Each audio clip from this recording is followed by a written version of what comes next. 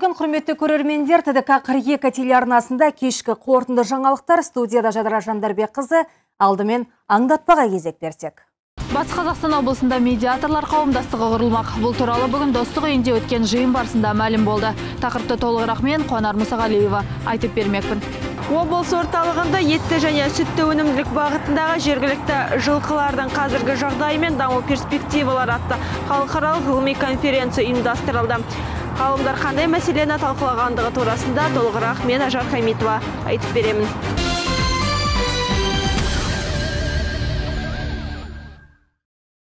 Батыс Қазақстанда медиаторлар қауымдастығы құрылмақ. Бұл шешім бүгін достық үйінде өткен алқалы жиында мәлім болды. Батыс Қазақстан облысында медиацияны дамытудың тиімді әдістері атты форумға облыс басшысы Алтай Көлгінов те арнайы атпасын бұрды. Тілші сюжетінен көрелік.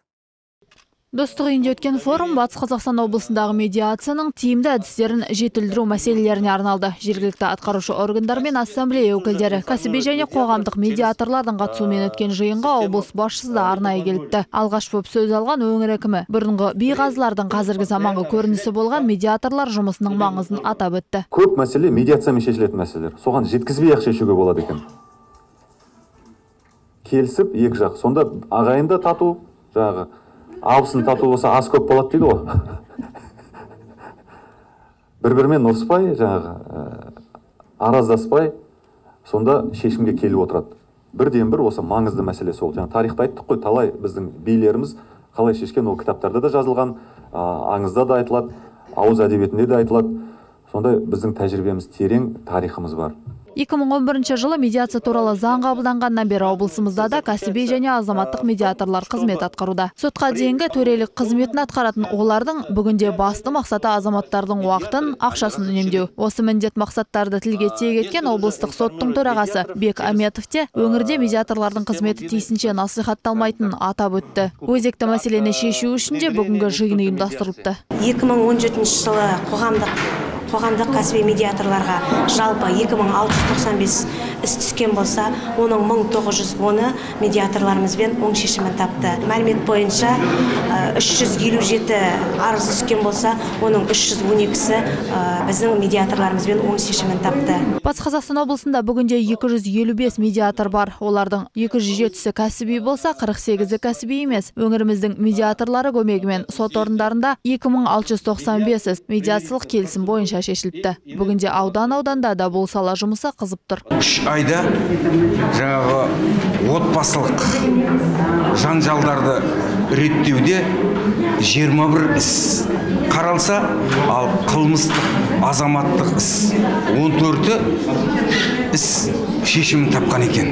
Форум соңында медиаторлар қауымдастығын құру шешімі шығып келер жылға нақты жоспар құрылды. Қуанар мұсағалиева мирболат жекепбаев рустам жұмашев ТДК 42 телеарнасы Батыс Қазақстан облысында 2018 жылы рухани жаңғыру бағдарламасы аясында 414 шара өткізу жоспарланған.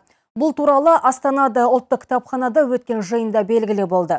Республикалық жалпы ұлттық қасиетті нысандары қатарына кірген орта ғасырлық жай қалашығы, Бөкей ордасы, тарихи музей кешені, Алаш музейі, Тақсай обалар кешені, Жұмағазы Хазірет, ақын қоғам қайраткері Ғұмар Қараш пен күйші композитор Дәулеткерей кесенелеріне ерекше назар аударылып, көңіл бөлінетін болады.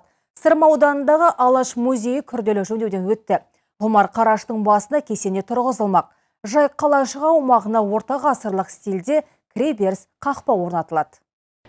Қызықты ақпарат. Сонау 72 жылы ақш президенті конгрестің жанынан арнаулы комитет құрған екен. Рухани жаңғыруға ұқсас жүйеге ұлттық қауіпсіздік стратегиясының басты мақсаттарының бірі ретінде өмір салтын қорғау міндетін енгізген. Осыдан соң әлеуметтік көрсеткіштер деп аталатын жалпы мемлекеттік жүйе жасалған. Сол арқылы қатардағы азаматтардың өмір салты параметрлері анықталған. Олар ұлттың мінезі мен қалыптасуына әсер ететін 8 блокқа жіктелген екен. Атап айтсақ, денсаулық, қоғамдық қауіпсіздік білім еңбек табыс тұрғын үй демалу мүмкіндігі және демократия. Қазіргі рухани жаңғыру да ұлттық болмысымызды дәріптеуге септігін тигізеді. Қазақстанның қасиетті жерлерінің географиясына орай қазақстанның жалпы ұлттық қасиетті нысандарының виртуалдық картасы және өңірлік қасиетті нысандардың интерактивтік картасы деген екі жоба іске асырылды. Бұның ерекшелігі виртуальный картаға тоқталатын болсақ бұның ішінде жүзден астам қасиетті нысандар бар. Бұл жалпы ұлттық қасиетті нысандар. Бұның ішінде қысқаша суреті қысқаша анықтамалығы және тіреде тұру бар.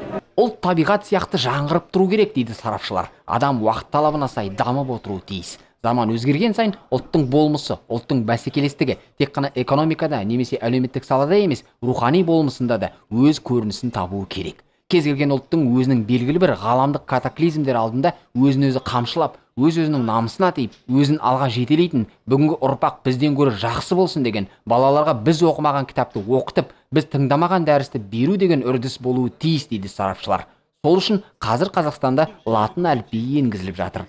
Тіл білімі институты университеттерде мектептерде сауалнама жүргізген болатын. Соның нәтижесінде бұрынғы әліпби яғни тамыз қыркүйекте ұсынылған әліпбимен салыстырғанда бұл әліпбидің бәрібір тиімділігін көрсетті.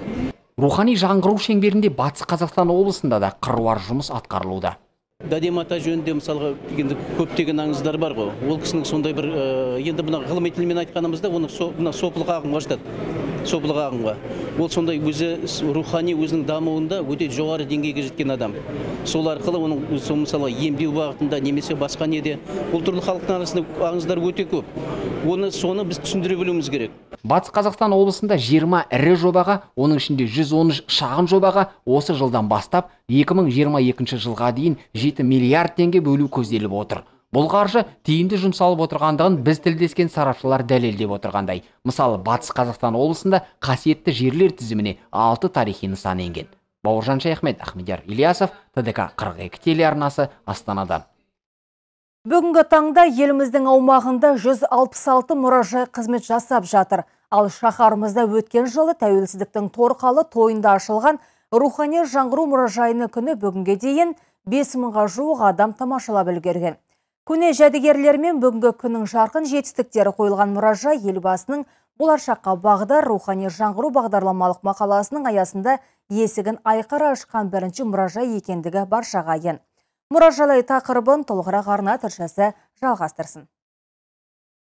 Музей өткен уақытпен жүздесе отырып бүгінгі өмірге тарих парасатымен қарайтын орын. Бұл ғасырлар таңбасымен таба қалған жәндіктер мен заттарға ой көзімен қараудың, заманалар айнасына қарап ел мен елдіктің жолын пайымдаудың айрықша мүмкіндіктері жинақталған қасиетті орын саналады. Музей уақытша немесе науқаншылдық дүние емес. Ол ғасырларға есептелініп салынады. Әр ел мұражайын ұқыпты түрде бір ұрпақтан екінші ұрпаққа ауысатынын есте ұстап сабақтастықты ескеріп тұрғызады, құрада жасақтайды мұражайдың мәртебесі сақталған экспонаттардың құндылығымен маңызымен даралығымен айқындалады. Еліміздегі бірінші мұражай орынбор қаласында 1931 жылы ашылған болатын. Бүгінгі таңда еліміздің таңба тарихын түгендеп көне жәдігерлерді жинақтап жүрген музейлердің саны 166-ға жетті. Өңірімізде өлке тарихын баяндайтын облыстық тарихи өлкетану мұражайы осыдан 180 жыл бұрын қызметін бастапты. Бүгінгі таңда біздің музейдің қорында 140 мыңнан астам экспонат бар.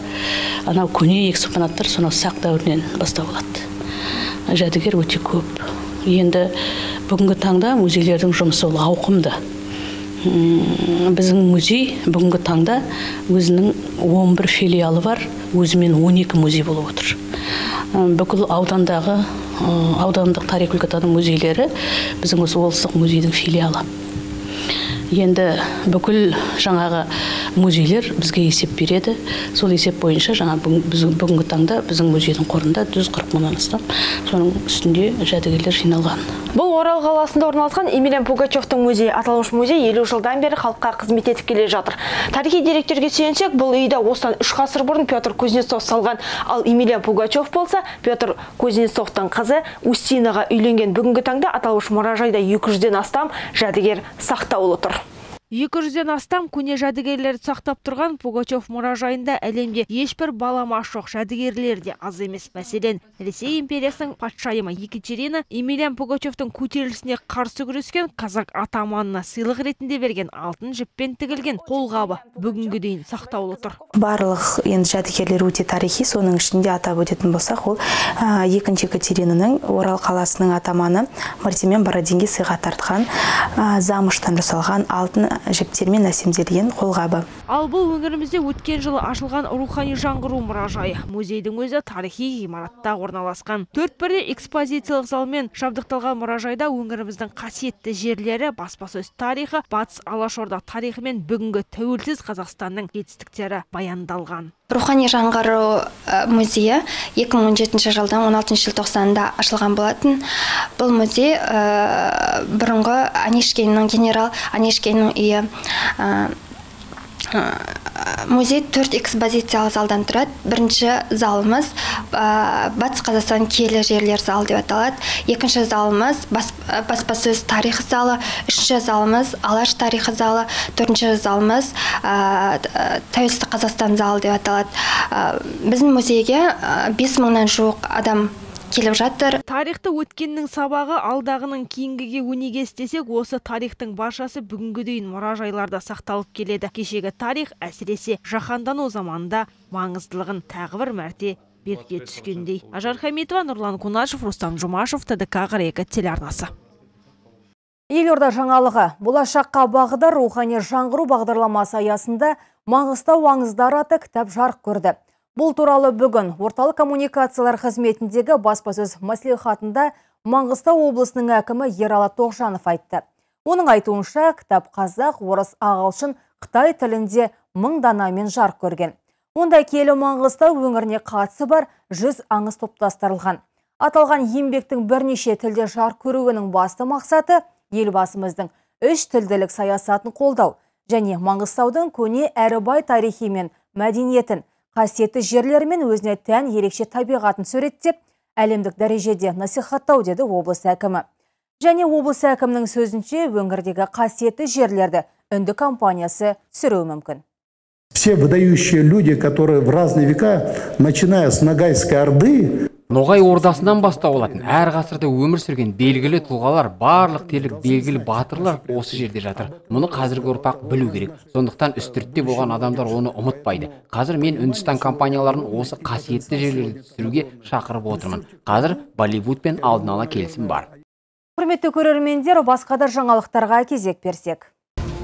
Шымкентте жоспарлы оқу кезінде республикалық жаслон мектебінің тәрбиеленушісі қайтыс болды. Қазақстан Республикасының қорғаныс министрлігінің басшылығы тәрбиеленушінің отбасы мен туыстарына көңіл айтады. Қазіргі уақытта құзырлы тергеу органдарының қызметкерлері тергеу жүргізіп жатыр. Батыс Қазақстан облысында балаларына алимент төлемеген ер азамат тұтқындалды. Ер адамның төрт баласы бар. Ол 300 мың теңге қарызын өтемеген. Балалары алдындағы әкелік борышын өтемеген ер адамды сот айыпты деп танып, әкімшілік жазаға тартқан. Қазір ер адам үш тәулікке қамауға алды деп хабарлайды.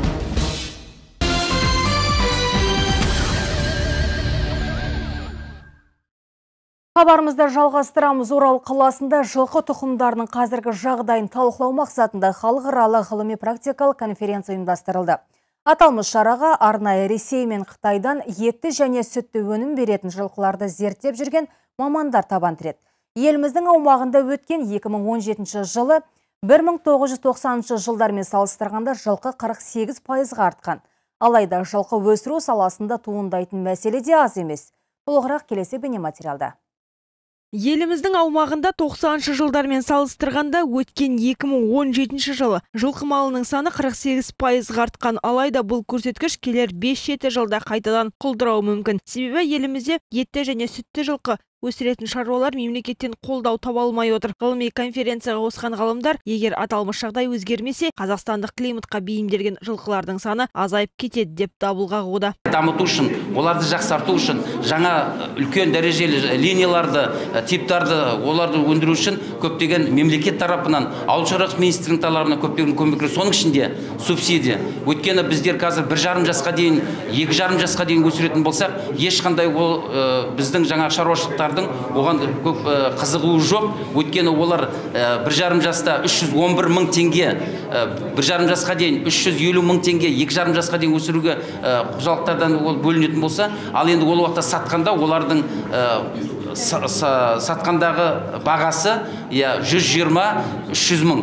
Яғни олар бұл арада ешқандай өндіріске пайдалы емес. Сондықтан да бұл арада әрбір әрбір асыл тұқымды жас малдарға соның ішіндегі айғырларға биелерге субсидия бөліну керек деп. Облыс орталығында ұйымдастырылған ғылыми практикалық конференцияға арнайы қытайдан келген мамандар табан тіреді. Қазақ жылқысын зерттеумен айналысатын шетелдік ғалымның сөзінше қытайда жылқы малына деген сұраныс жыл сайын көбейіп келе жатқан көрінеді. Олар бұл тенденцияға алаңдап отыр себебі жылқы малына деген сұраныстың салдарынан мал саны азайып кетуі мүмкін дейді. Қытайлық ғалым оралға келуіміздің негізгі мақсаты тұқым сақтап қалу мен еліміздің аумағына жаңадан тұқым енгізу болып табылады. Бірнеше жылдың ішінде біз өнімді жылқы шаруашылығын дамытуды негіз еттік ал енді бізде осы жылқы шаруашылығы туралы халықаралық осындай жиналыстар бізде көп болады. Әр жылында бірде екі рет болады. Енді қазақстанда мен бірінші рет келіп отырмын. Бірінші рет осы халықаралық жиналыс ашылады екен өнімді жылқы шаруашылығы дегеннен кейін. Әкеліп келдік. Келудегі мақсатымыз бізге де біздің елде де көптеген жергілікті жылқы бар. Соның ішінде қазақ жылқысы моңғол жылқысы және басқа жылқылар бар. Бұларды біз экономикалық құндылығын асыру арқылы тұқымын қорғап қалу мақсатында жұмыс істеп отырмыз. Ғылыми практикалық конференцияға бас қосқан ғалымдар етті және сүтті жылқы өнімдерін сақтау мен дамыту үшін ортақ шешім қабылдады. Ажар хамитова ербол аманшин рустам жұмашев тдк екі телеарнасы Санкт-Петербургтік білікті дәрігерлер Орал қаласында. Олар мойын омыртқаны қозғалып, тайып кетуінен зардап шеккен науқастарға бұрын соңды болмаған технологиямен ем жасап, медицинаға үлкен жаңашылдық енгізіп отыр. Шведтік әдіс бойынша тәжірибелері шыңдаған ақ халаттылар омыртқаға зақым келтірмей, созылмалы бас, мойын, арқа ауырсынуларынан бір жола құтылуға көмектесе алады. Европада арқа, мойын, остеохондроз қысымның төмендеуі және бас ауруларынан құтылудың қауіпсіз әдісі табылды. Зерттеулер көрсеткенде туылған кезде алғашқы мойын омыртқасы жиі қозғалып кететін көрінеді. Егер атлант ауыстырылса, терең мойын бұлшық еттерінің қан айналымының бұзылуы және жүйке мембраналарына зақым келтіреді. Соның нәтижесінде бас ауруы мен мойын ауруы, ауырсыну пайда болады. Очень часто бывают заболевания, связанные жарақаттануға байланысты аурулар көп кездеседі. Жол көлік оқиғалары, тұрмыс тұрмыстық жарақаттар спорттық өндірістік жарақаттар да бар. Бірақ көбінесе балалар туу кезінде жарақаттар жиі орын алады. Бұл ауруларды шведтік әдіспен емдеп мойын омыртқасының жұмысын арнайы құрылғы арқылы қалпына келтіреміз. Осы ем шаралардың көмегімен қозғалуым жеңілдеді. Белім ауырмайды дәрігерлердің айтқан барлық кеңестерін орындадым гимнастика жасадым дәрумендер іштім.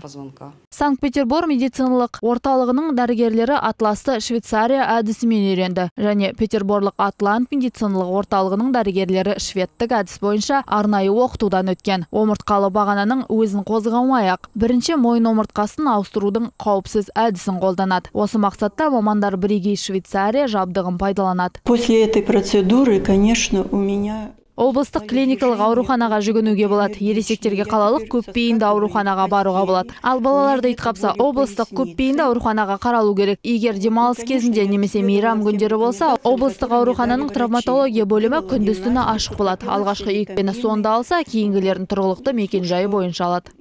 Білікті дәрігердің қабылдануына ересектер де балалар да келеді. Себебі емдом қай жасқа да тиімді. Атлант медициналық орталығы құрылысшы шағын ауданы екі де алты мекенжайындағы интертич орталығында 17 сәуірден 21 сәуірге дейін шақырады. Қабылдауға жазылу 96 10 51 телефоны бойынша. Кеше Қадыр Мырзали атындағы мәдениет және өнер орталығында ақын Жаңақала ауданының құрметті азаматы Закария Сесенғалидің құмдағы ауыл құмдағы маты жаркеші өтті. Бейсенбі күні дәстүрлі түрде ұйымдастырылған тағылымды шараға облыс әкімінің орынбасары Ғабидолла Оспанқұлов қатысты. Толығырақ алдағы сюжетте.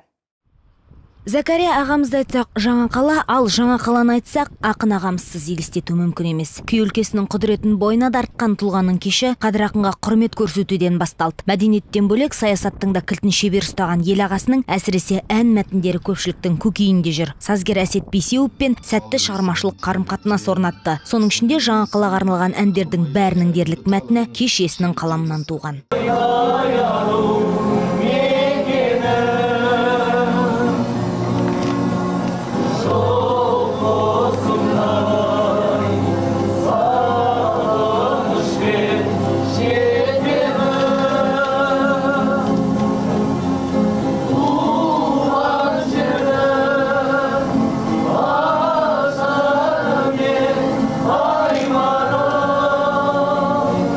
Кешке қатысқан облыс әкімінің орынбасары ғабидолла оспанқұлов өңір басшысы алтай сүйдірұлының сәлемін жеткізе отырып мемлекеттік қызмет пен мәдени саланың тарланына айналған дара тұлғаны былайша құттықтады закария ағамызға келетін болсақ осы қадыр атамыздың орталығында бүгін сіздің шығармашылық кешіңіз өтіп жатыр. Ақын үшін бұл бір халықтың алдында бір есеп беру кездесу сияқты. Енді бізде депутаттар халыққа барып есеп беріп жатады ғой. Сол сияқты енді елдің ақындары жазушылар осы халық өнер сүйер қауымның алдында өзінің шығармаларын бір көрсетіп соны бір сусындатып осылай біз үлкен кештер өткізіп жатады. Осы кешіңіз құтты болсын аға.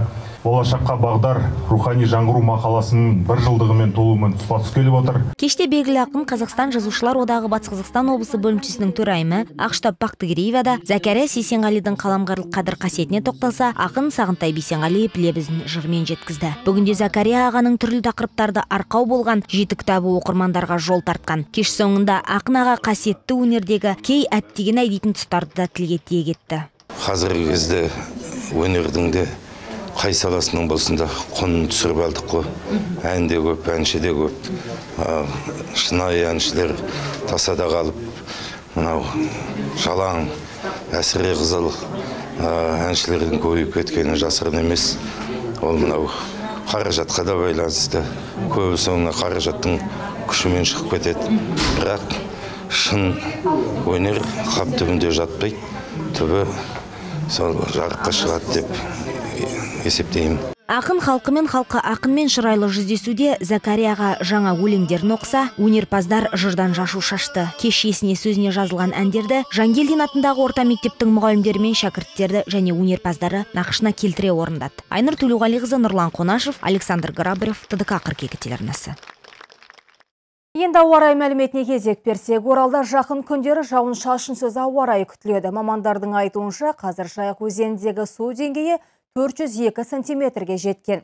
Су тәулігіне 73 сантиметрге көтеріледі. Болжам бойынша өзен суы 600 сантиметрге жетуі мүмкін. Өңірдегі шаған, үлкен және кіші өзен, Бұковка өзендерінің су деңгейі де көтеріліп жатыр.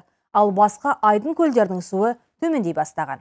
Жел солтүстік шығыстан 9-14 метр секунд болады. Ауа температурасы түнде 0-ден 5 градусқа дейін аязы болады, күнсіз 12-17 градусқа дейін жылы болады. Құрметті көрермендер, осы және басқа да жаңалықтарды сіздер ТДК 42 нүкте kz сайтынан таба аласыздар. Кешкі қорытынды жаңалықтар легі осындай болды. Келесі кездескенше аман, сау болыңыздар.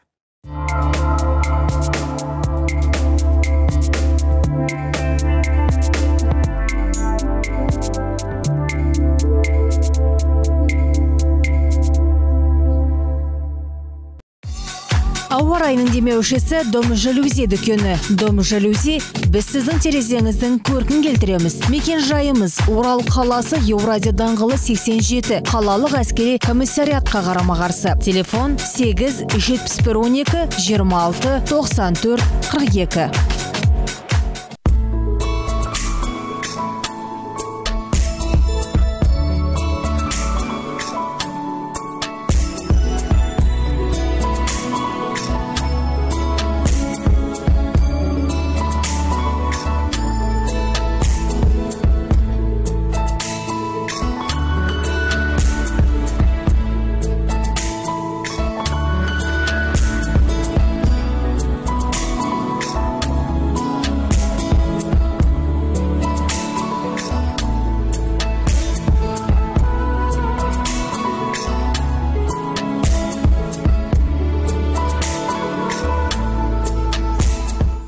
тік және көлденең жалюзиді ролл перделерді мультифактуралы жалюзиді бамбуктан немесе ағаштан жасалған көлденең жалюзиді фото жалюзиді фотобаспа мен сюжеттік жалюзиді сатамыз және орнатамыз. Керме төбелерді сатамыз және орнатамыз. Күңгірт керме төбелер сәтен және жылтыр керме төбелер фотобаспасы бар төбелер. Төсемнің ені бес жарым метрге дейін.